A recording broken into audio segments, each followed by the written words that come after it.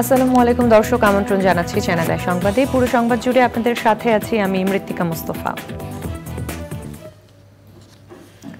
বিস্তারিত সংবাদের শুরুতেই জানিয়ে দিচ্ছি সুপার ফ্রেশ ফর্টিফাইড সয়াবিন তেল সংবাদ শিরোনামগুলো। বারো থেকে চোদ্দ সেপ্টেম্বর পর্যন্ত রাজধানী সহ দেশের উপকূলীয় অঞ্চলে ভারী বৃষ্টির পূর্বাভাস। তিন দিনে দেড়শো মিলিমিটার পর্যন্ত বৃষ্টিপাতের আশঙ্কা। গণ অভ্যুত্থানের হতাহতের তথ্য চেয়ে হাসপাতাল, কবরস্থান ও ডিসিদের কাছে ট্রাইব্যুনালের চিঠি। ভিডিও ছবি চেয়েছে গণমাধ্যমের কাছে।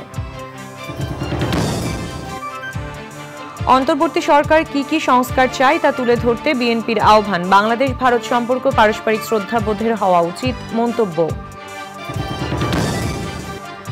এবং সবুজে সাজে বাংলাদেশ স্লোগানে, চাঁদপুরে প্রকৃতি ও জীবন ক্লাবের বৃক্ষরোপণ ও চারা বিতরণ, পরিবেশ রক্ষায় মহতি উদ্যোগের প্রশংসা।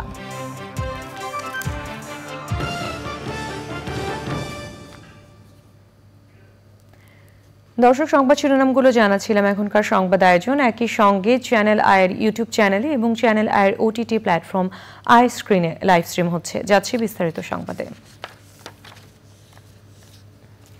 বারো থেকে চোদ্দ সেপ্টেম্বর পর্যন্ত রাজধানী সহ দেশের উপকূলীয় অঞ্চলে ভারী বৃষ্টির পূর্বাভাস দিয়েছে আবহাওয়া অফিস। পরপর তিন দিন অতি ভারী বৃষ্টির পরিমাণ একশো থেকে দেড়শো মিলিমিটার পর্যন্ত হতে পারে বলে আশঙ্কা করছেন আবহাওয়াবিদরা। জান্নাতুল বাকেকেকা রিপোর্ট। অগস্ট মাসে ভয়াবহ বন্যার কবলে পড়ে দেশের দক্ষিণ ও দক্ষিণ পূর্বাঞ্চলের এগারোটি জেলা। এই বন্যার প্রভাব এখনও কাটেনি। আবহাওয়া অফিস বলছে, বঙ্গোপসাগরে তিনটি লঘুচাপের কারণে স্বাভাবিকের চেয়ে ছেচল্লিশ শতাংশ বেশি বৃষ্টি হয়েছিল অগাস্ট মাসে। চলতি সেপ্টেম্বরে আবারও ভারী থেকে অতি ভারী বৃষ্টির আশঙ্কা করছে আবহাওয়া অধিদপ্তর। আগামী পরশুদিন হয়তো নতুন করে আরেকটা সাগরের লঘুচাপ হবে এবং ওর প্রভাবেই সারা দেশে ভারী বর্ষণ সম্ভাবনা রয়েছে। এই জন্য আমরা বিভিন্ন অ্যানালিসিস দেখা যাচ্ছে। এটা বিশেষ করে আপনার বারো, তেরো, চোদ্দ তারিখে দেশের অধিকাংশ জায়গায় আপনার বৃষ্টি হবে এবং অনেক জায়গাতে আপনার ভারী থেকে অতি ভারী বর্ষণের সম্ভাবনা রয়েছে। অতি ভারী বর্ষণ বলতে আমরা বলছি উননব্বই মিলিমিটার বা তার বেশি বৃষ্টি। আবহাওয়া অফিসের পূর্বাভাস, সেপ্টেম্বরেও বঙ্গোপসাগরে দুই থেকে তিনটি লঘুচাপ তৈরি হতে পারে। এর মধ্যে একটি লঘুচাপ ইতোমধ্যে গভীর নিম্নচাপে পরিণত হয়ে পুরীর কাছ দিয়ে উড়িষ্যা উপকূল অতিক্রম করে। সোমবার উড়িষ্যা ও এর আশেপাশের এলাকায় অবস্থান করছে। যেহেতু এটা উড়িষ্যার দিকে যাচ্ছে এই জন্য বাংলাদেশে ওই রকম ভারী এই নিম্নচাপের প্রভাবে ভারী বর্ষণ হওয়ার সম্ভাবনা নেই। যেটা দুই দিন পরে যেটা হবে, নতুন করে একটা লঘুচাপ সৃষ্টি হবে। আমাদের উত্তর পূর্ব সাগরে এবং এটা কিছুটা ইন্টেন্সিফাই হয়ে এটা বাংলাদেশের কষ্টে চলে আসবে এবং এর প্রভাবে আপনার ভারী থেকে অতি ভারী বর্ষণের সম্ভাবনা রয়েছে। এর প্রভাবে দেশের উপকূলীয় এলাকা ও চারটি সমুদ্র বন্দরের ওপর দিয়ে দমকা বা ঝোড়ো হাওয়া বয়ে যাওয়ার পূর্বাভাস দিয়েছে আবহাওয়া office. Jannatul Bakia Keka channel I, Dhaka. ছাত্র জনতার অভ্যুত্থানে নিহত ও আহতদের তথ্য চেয়ে দেশের সব সরকারি বেসরকারি হাসপাতাল, কবরস্থান ও জেলা প্রশাসকের কাছে চিঠি দিয়েছে আন্তর্জাতিক অপরাধ ট্রাইব্যুনালের তদন্ত সংস্থা। ওই বিষয়ে তথ্য দিতে সমন্বয়কদের প্রতি আহ্বান জানিয়েছেন ট্রাইব্যুনালের চিফ প্রসিকিউটর তাজুল ইসলাম। বিচার চলার সময় শেখ হাসিনা সহ গণহত্যা মামলার আসামিরা যেন বিদেশি আইনজীবী রাখতে পারেন, এ নিয়ে সরকারের সাথে তাদের আলোচনা চলছে। মাজারুল মান্না রিপোর্ট। গণ অভ্যুত্থানে পুলিশের গুলিতে আহত হয়ে বিভিন্ন হাসপাতালে চিকিৎসাধীনদের দেখতে রোববার হাসপাতালে গিয়েছিলেন প্রসিকিউশন ও তদন্ত সংস্থার প্রতিনিধিরা। এর মাধ্যমে আনুষ্ঠানিক তদন্ত কার্যক্রম শুরু হয়েছে বলে জানান চিফ প্রসিকিউটর তাজুল ইসলাম। এ বিষয়ে বিস্তারিত জানতে প্রতিষ্ঠানে চিঠি দেওয়ার কথা জানান তিনি। বাংলাদেশের সকল জেলা প্রশাসক, সকল পুলিশ সুপার, সকল সিভিল সার্জন, সকল সরকারি এবং বেসার, সরকারি হসপিটালের যারা প্রশাসনে আছেন, দায়িত্বে আছেন, তাদের কাছে চিঠি পাঠাচ্ছি। পাশাপাশি যে সমস্ত বড় বড় কবরস্থান আছে, সেই কবরস্থানের যারা প্রশাসক আছে, তাদের কাছেও চিকিৎসা চিঠি পাঠানো হচ্ছে। যে বিশ্ববিদ্যালয়ের ভাইস চ্যান্সেলরগুলোর কাছে আমরা চিঠি পাঠাচ্ছি যে সেখানে কি কি ঘটনা ঘটেছে। তো এইগুলো চিঠিতে আমরা অনুরোধ জানিয়েছি, হসপিটালে কতজন আহত, নিহত মানুষ গিয়েছিলেন, কতজন চিকিৎসা গ্রহণ করেছেন, কতজন মারা গিয়েছে। তাদের সংক্রান্ত যত চিকিৎসার ডকুমেন্ট আছে, এগুলো তদন্ত সংস্থায় সরবরাহ করার জন্য। প্রিন্ট এবং ইলেকট্রনিক মিডিয়ার যারা এই প্রশাসনে আছেন, তাদের কাছে চিঠি দিয়েছি যে আপনাদের কাছে এ যাবৎকালে এই আগস্ট বা জুলাই বিপ্লবের যত ডকুমেন্টস আপনাদের ক্যামেরায় ধারণ করা আছে, আপনাদের রিপোর্টে ধারণ করা আছে, এই সব কিছুর কপি আমাদেরকে সরবরাহ করার জন্য সেটাও আমরা রিকোয়েস্ট করেছি, আশা করছি সেগুলো আমরা পেয়ে যাব। বাংলাদেশের এই ছাত্র জনতার অভ্যুত্থানে যে আমাদের ছাত্র নেতারা ছিলেন, সমন্বয়করা ছিলেন তাদের সবার প্রতি আমাদের আহ্বান থাকবে যে আপনারা এই ফোর ফ্রন্টে ছিলেন ফিল্ডে ছিলেন আপনারা দেখেছেন ঘটনাগুলো কীভাবে ঘটেছে। আপনাদেরকে অর্গানাইজড ওয়েতে এই তদন্ত সংস্থাকে সহায়তা করার জন্য আমরা অনুরোধ করছি। বিচার প্রক্রিয়া শুরু হওয়ার পর দেশীয় আইনজীবীর পাশাপাশি বিদেশি আইনজীবীরা আসামিদের পক্ষে মামলা লড়তে পারবেন কিনা তার ব্যাখ্যা দেন চিফ প্রসিকিউটর। আমাদের মধ্যে একটা আলোচনা চলছে যে ফরেন যে সমস্ত লয়ার্স যদি আসামি পক্ষ চান তারা যদি নিয়োগ করতে চান সেই ব্যাপারে একটা ইতিবাচক সিদ্ধান্ত হওয়ার সম্ভাবনা আছে। বাট এটা এখনও সিদ্ধান্ত হয়নি। আমরা মনে করি যে তারা যদি তাদের বেস্ট ডিফেন্স দেওয়ার জন্য আইনজীবী চান সেটা দেশি হোক বিদেশি হোক আমাদের পক্ষ থেকে আপত্তি থাকার কোনো কারণ নেই। চিফ প্রসিকিউটর বলেন বিচার প্রক্রিয়া নিয়ে কোনো প্রশ্ন যেন না থাকে সেজন্য যা যা করা দরকার তাই করবেন তারা। ক্ষতিগ্রস্তরা এই গণহত্যার বিচার দেখার অপেক্ষায় আছেন সে কথাও স্মরণ করিয়ে দেন তিনি। মাঝড়ক, মান্না, চ্যানেল আই, ঢাকা। বগুড়ায় দুর্বৃত্তদের ধারালো অস্ত্রের আঘাতে সদর উপজেলা স্বেচ্ছাসেবক দলের আহ্বায়ক মিজানুর রহমান মিজান নিহত হয়েছেন। এদিকে মিজান হত্যাকাণ্ডে জড়িত অভিযোগে ল্যাদা নামে এক যুবককে পিটিয়ে হত্যা করা হয়েছে। গত রাত নটা থেকে এগারোটার মধ্যে এই দুটি হত্যাকাণ্ডের ঘটনা ঘটে। বিষয়টি নিশ্চিত করে বগুড়া সদর থানার অফিসার ইনচার্জ সাইহান অলিউল্লাহ। তিনি বলেন, দুজনের লাশ হাসপাতালের মর্গে রয়েছে। ঘটনাস্থলে পুলিশের একাধিক টিম কাজ করছে। হত্যাকাণ্ডে জড়িতদের ধরতে চেষ্টা করছে পুলিশ। স্থানীয়রা জানায়, পূর্ব শত্রুতার জেরে মিজানকে হত্যা করা হয়েছে। পরে তার অনুসারীরা লাদাকে হত্যা করে। অন্তর্বর্তী সরকার কি কি সংস্কার করতে চায় তা জাত সামনে তুলে ধরে দ্রুত নির্বাচন দেওয়ার আহ্বান জানিয়েছেন বিএনপি। দলের মহাসচিব মির্জা ফখরুল ইসলাম আলমগীর বলেছেন, বাংলাদেশ ভারত সম্পর্ক পারস্পরিক শ্রদ্ধাবোধের ভিত্তিতে হওয়া উচিত। তবে ভারত এই অঞ্চলে প্রভুত্ব বজায় রাখতে চায় বলে মন্তব্য করেছেন তিনি। মইনুল হাসানের রিপোর্ট। জাতীয়তাবাদী মহিলা দলের ছেচল্লিশতম প্রতিষ্ঠা বার্ষিকীতে বিএনপির প্রতিষ্ঠাতা ও সাবেক রাষ্ট্রপতি জিয়াউর রহমানের সমাধিতে শ্রদ্ধা নিবেদন। শ্রদ্ধা নিবেদনের পর খালদা জিয়া ও তারেক রহমানের নেতৃত্বে দেশ এগিয়ে নিয়ে যাওয়ার অঙ্গীকার করেন মহিলা দলের নেতাকর্মীরা। এই যে একটা যুদ্ধের বিনিময়ে নতুন একটা স্বাধীনতা আমরা পেলাম, আমাদের প্রতিষ্ঠা বার্ষিকীর অঙ্গীকার হবে আমাদের দেশ নেত্রী বেগম খালেদা জিয়ার সুস্থতা, শহীদ রাষ্ট্রপতি জিয়াউর রহমানের প্রকৃত স্বীকৃতি দেশটা তারকে আমার যেন দেশে ফিরে আসতে পারে এবং আমরা যে রাজনীতিটা করেছি এতদিন একদম মেরুদণ্ড সোজা করে দাঁড়িয়ে সেই রাজনীতির জন্য আমরা আরও সুস্থভাবে সুস্থভাবে আমরা করতে পারি। অন্তর্বর্তী সরকার কি কি সংস্কার করবে তা জনগণের সামনে তুলে ধরার আহ্বান জানান বিএনপির মহাসচিব। প্রত্যেকবারই বলে এসেছি আমরা যে একটা সংস্কারগুলো ঘোষণা করে যেটা তারা করতে চান সেগুলো জনগণের সামনে তুলে ধরা এবং সেটার সময় নির্ধারণ করা যাতে করে সুনির্দ একটা যৌক্তিক সময়ের মধ্যে নির্বাচন হতে পারে এবং জনগণের ক্ষমতা জনগণের হাতে তুলে দেওয়া যেতে পারে সেই ব্যবস্থা করার জন্য আমরা তাদেরকে অনুরোধ করেছি। বাংলাদেশ ভারত সম্পর্ক নিয়েও কথা বলেন মির্জা ফখরুল। শুধু বাংলাদেশ নয় পার্শ্ববর্তী দেশগুলোর সঙ্গেও ভারতের সম্পর্ক খুব ভালো যাচ্ছে না। এটা অন্যতম প্রধান কারণ আমার কাছে যেটা মনে হয় যে ভারত সবসময় একটা প্রভুত্ব একটা রাজনীতি তারা এই দেশগুলোর সঙ্গে করে পার্শ্ববর্তী দেশগুলোর সঙ্গে করেছে যেটা ভারতের জন্য শুভ বই আনবে না, পার্শ্ববর্তী দেশগুলোর জন্য শুভ বই আনবে না। সুতরাং পারস্পরিক সম্মানের ভিত্তিতে, মর্যাদার ভিত্তিতে, পারস্পরিক স্বার্থের ভিত্তিতে সেই সম্পর্ক গড়ে তোলা উচিত বলে আমরা মনে করি। অন্তর্বর্তী সরকার দ্রুত নির্বাচন দিয়ে গণতান্ত্রিক সরকারের কাছে ক্ষমতা হস্তান্তর করবে বলে আশা প্রকাশ করেন বিএনপির মহাসচিব। মনুল হাসান চ্যানেল আই ঢাকা বিএনপির সর্বোচ্চ নীতি নির্ধারণী ফোরাম জাতীয় স্থায়ী কমিটির বৈঠক হয়েছে। গতরাতে রাজধানীর গুলশান কার্যালয়ে এই বৈঠক হয়। বৈঠকে ভার্চুয়ালি সভাপতিত্ব করেন দলের ভারপ্রাপ্ত চেয়ারম্যান তারেক রহমান। উপস্থিত ছিলেন doctor Khandakar Mosharraf Hossain, Mirza Fakhrul Islam Alamgir, barrister Jamir Uddin Sarkar, Mirza Abbas, Gayeshwar Chandra Roy, Amir Khasru Mahmud Chowdhury, doctor Abdul Moyeen Khan, Nazrul Islam Khan, Salahuddin Ahmed, Begum Selima Rahman Hafiz Uddin Ahmed ও অধ্যাপক doctor A Z M Zahid Hossain. বৈঠকে সাংগঠনিক ও রাজনৈতিক বিভিন্ন issue নিয়ে দীর্ঘ আলোচনা হয়েছে বলে জানা গেছে। সবুজে সাজায় বাংলাদেশ স্লোগানে, চাঁদপুরে বৃক্ষরোপণ চারা বিতরণ করেছে প্রকৃতি ও জীবন ক্লাব। মতলব উত্তর উপজেলার সুজাতপুর ডিগ্রি কলেজ ও সুজাতপুর কিন্ডার গার্ডেনে বৃক্ষরোপণ কার্যক্রম উদ্বোধন করা হয়। বন্যা পরবর্তী দুর্যোগ ও জলবায়ু অভিঘাত মোকাবেলায় দীর্ঘমেয়াদী পরিকল্পনায় বৃক্ষরোপণে গুরুত্ব দিচ্ছেন সংশ্লিষ্টরা। পরিবেশের ভারসাম্য রক্ষায় মহতি এই উদ্যোগের প্রশংসা করেন সুধীজনরা। মোর্শেদ আলমের তথ্য ভিডিও নিয়ে আফরোজা হাসির রিপোর্ট।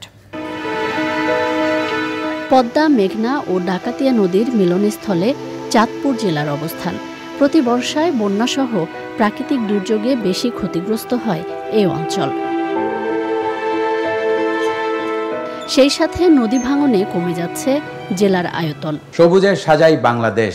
এই প্রতিপাদ্যে চাঁদপুরে সুজাতপুর ডিগ্রি কলেজ ও সুজাতপুর কিন্ডার গার্ডেনে বৃক্ষরোপণ কর্মসূচি পালন করা হয়েছে। এই ধরনের বৃক্ষরোপণ সারা বাংলাদেশে কিন্তু আমাদের ছড়িয়ে দিতে হবে। আমরা জলবায়ুর যে পরিবর্তন দেখছি, সেটাও কিন্তু প্রশমিত করা সম্ভব এই গাছ দ্বারা। আমরা এই গাছ যে লাগাচ্ছে গাছের কিন্তু পরিচর্যার একটা ব্যাপার আছে। এই গাছকে কিন্তু শুধু লাগালেই হবে না, গাছটা একটা পর্যায় পর্যন্ত যতক্ষণ না বড় হবে, ততক্ষণ আমাদের কিন্তু খেয়াল রাখতে হবে, গাছটা যেন নষ্ট না হয়, অন্য কোনো প্রাণী যাতে একে খেয়ে না ফেলে এবং নষ্ট না করে, সেটাও কিন্তু আমাদের খেয়াল রাখতে হবে। সুতরাং গাছ শুধু রোপণ করলে হবে না গাছের পরিচর্যাও করতে হবে। আসুন আমরা সারা বাংলাদেশে এই বৃক্ষরোপণ কর্মসূচি এগিয়ে নিয়ে যাই এবং বাংলাদেশটাকে সবুজে সাজিয়ে ফেলি। পরিবেশ বিষয়ে সচেতনতা তৈরিতে শিক্ষার্থীদের বনজ ফলজ ও ওষুধি গাছের চারা দেওয়া হয়। এই গাছ আমরা নিয়েছি সবাই নিজেদের বাসায় নিয়ে লাগাবো। আমরা সবাইকে গাছ লাগাতে উৎসাহিত করব। কৃতি ও জীবন লাভকে ধন্যবাদ আমাকে গাছ দেওয়ার জন্য। আমরা গাছ পেয়ে অনেক খুশি আমরা বাড়িতে গাছ লাগাবো। প্রকৃতি ও জীবন ক্লাবের এমন উদ্যোগের প্রশংসা করেন বিশিষ্টজনেরা। পৃথিবী এবং দেশ এবং আমাদের নিজেদের জন্য গাছকে রক্ষা করা উচিত। যদি আমরা বৃক্ষরোপণ করি তাহলে আমাদের যে বিশ্ব তাপমাত্রা বেড়ে যাচ্ছে আমরা তার মোকাবেলা করতে পারব। প্রকৃতি জীবন ক্লাব আজকে আমাদের গাছ বিতরণ করেছে যার জন্য প্রকৃতি জীবন ক্লাবরে আমরা সুজাতপুর কলেজ থেকে ধন্যবাদ জানাচ্ছি। এরকম কর্মসূচি অব্যাহত থাকলে আমাদের যে বৈশ্বিক উষ্ণায়ন এটা আমরা মোকাবেলা করতে পারব। ভবিষ্যৎ প্রজন্মের জন্য বাসযোগ্য ধরিত্রী গড়তে এমন কার্যক্রম চালিয়ে যাওয়ার কথা জানান সংশ্লিষ্টরা। আমরা অসংখ্য বৃক্ষ এখানে বিতরণ করেছি। আমাদের কর্মসূচির অংশ হিসেবে চাঁদপুরে বিভিন্ন শিক্ষা প্রতিষ্ঠানে আমরা আরও বিশ হাজার বৃক্ষ রোপণ করার কর্মসূচি হাতে নিয়েছি। পরিবেশ ও প্রকৃতির উন্নয়নে বৃক্ষরোপণ কর্মসূচিকে বেগবান করতে সবাইকে এগিয়ে আসার আহ্বান পরিবেশবাদীদের। আফরোজা হাসি, প্রকৃতি ও জীবন ডেস্ক, চ্যানেল আই। দর্শক, এবারে চলে যাচ্ছে বিরতিতে। বিরতির পর অন্যান্য সংবাদের সাথে থাকছে। দর্শক, ফিরে এলাম বিরতির পর। গাজার খান ইউনুসে একটি আশ্রয় শিবিরে ইসরায়েলি ক্ষেপণাস্ত্র হামলায় অন্তত চল্লিশ ফিলিস্তিনি নিহত হয়েছে। ইসরায়েল জানিয়েছে, হামাস নেতাদের লক্ষ্য করে তাঁবু দিয়ে তৈরি ওই আশ্রয় শিবিরে হামলা চালানো হয়। এছাড়া গাজার পশ্চিমাঞ্চলে ইসরায়েলি বিমান হামলায় পাঁচ ফিলিস্তিনি নিহত হয়েছে। এদিকে গাজার উত্তরাঞ্চলে পোলিও টিকা কার্যক্রমে সম্পৃক্ত জাতিসংঘের কর্মীদের আটক করেছে ইসরায়েল। বুলডোজার দিয়ে গুড়িয়ে দেওয়া হয়েছে জাতিসংঘের গাড়ি।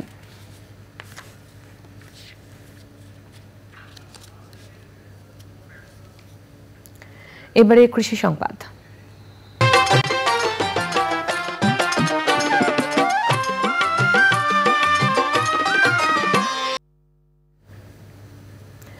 ভোলায় কয়েকদিনের টানা বৃষ্টিতে উজানের পানি বেড়ে জোয়ারে প্রায় দুই হাজার পুকুর ও ঘেরের ক্ষতি হয়েছে। জেলা মৎস্য বিভাগ বলছে, অবকাঠামোর ক্ষতি হয়েছে পাঁচ কোটি ও বিভিন্ন জাতের মাছ ভেসে গেছে পাঁচ কোটি টাকার। ভোলা থেকে হারুনুর রশিদের তথ্য, ভিডিও চিত্র নিয়ে সৈয়দ অদিতের রিপোর্ট। ভোলায় কয়েক হাজার মাছ চাষি পুকুর ও ঘেরে মাছ চাষ করে আসছেন। এবারে ভোলায় দুই হাজার মাছ চাষি তাদের সর্বস্ব হারিয়ে এখন দিশে হারা জোয়ারের পানির এত চাপ ছিল যে ঘেরের পাট ছুটে গিয়ে মাছ বেরিয়ে গেছে নদীতে। অনেকেই নেট দিয়ে মাছ রক্ষায় আপ্রাণ চেষ্টা করেও ব্যর্থ হয়েছেন। সাদা যত দাবিয়ত মাছ আছে সব মাছগুলা এই পানির সাথে বাঁধ- বাঁধ ভেঙে মাছগুলো সব চলে গেছে গিয়া। এখন আমরা যে সামনের দিকে দাঁড়ায় যে আমরা চাষ এই মাছ চাষ করুম এরকম কোনো অবস্থা আমাদের নাই। কমপক্ষে আবার পনেরো লক্ষ টাকার মাছ আছিল। এই আটটা পুকুরে। এখন আমি তো ওই কিছু কিছু পুকুর এখন আমি মেরামত করতে পারি না যে কুড়িয়ে আমরা একটু খারামু সেরকম খারামো তো কোনো আমার লাইন নাই। চাষিরা ধার দেনা ও বিভিন্ন এনজিও ব্যাংক থেকে ঋণ নিয়ে ঘের ও পুকুর লিজ নিয়ে প্রতি বছরই মাছ চাষ করেন। তাদের ঘের ও পুকুরের রুই কাতল মৃগেল তেলাপিয়া পাঙ্গাস সহ সব ধরনের পুকুর ও ঘেরের পাড় ভেঙে মাছ বের হয়ে গেছে নদীতে। আমরা তথ্য গ্রহণ করেছি। এবং এই তথ্যগুলো আমরা ইতিমধ্যে আমাদের মন্ত্রণালয়ে পাঠিয়েছি। আমাদের প্রায় দুই হাজার অধিক আমাদের চাষি এবং জেলে ক্ষতিগ্রস্ত হয়েছে এবং অবকাঠামো ক্ষতিটাই বেশি হয়েছে। সেখানে প্রায় পাঁচ কোটির ঊর্ধ্বে অবকাঠামোগত পাড় বা পুকুরের যে বিভিন্ন জায়গাগুলো ক্ষতিগ্রস্ত হয়েছে এবং মাছ বেরিয়ে গিয়েছে এবং অতি বর্ষণের কারণে অতি প্লাবিত হওয়ার কারণে এই মাছগুলো বেরিয়ে গেছে। আমরা তথ্য সব সংরক্ষণ করেছি এবং আমরা ঊর্ধ্বতন কর্তৃপক্ষকে পাঠিয়েছি। যদি কর্তৃপক্ষ কোনোভাবে এদেরকে কোনো ধরনের ক্ষতিপূরণ বা কোনো ধরনের ব্যবস্থা করে সঙ্গে সঙ্গে তাদেরকে অবগত করব এবং তাদের সেই অনুযায়ী আমরা ব্যবস্থা নেব। চাষিদের প্রত্যাশা সরকার তাদের ক্ষতি পুষিয়ে নিতে সহায়তা প্রদান করবে। সৈয়দ অদিত চ্যানেল আই এখন দেখবেন প্রকৃতি সংবাদ।